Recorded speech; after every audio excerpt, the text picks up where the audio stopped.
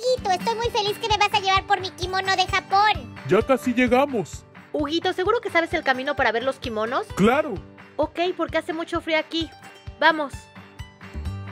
Ahí están los monos.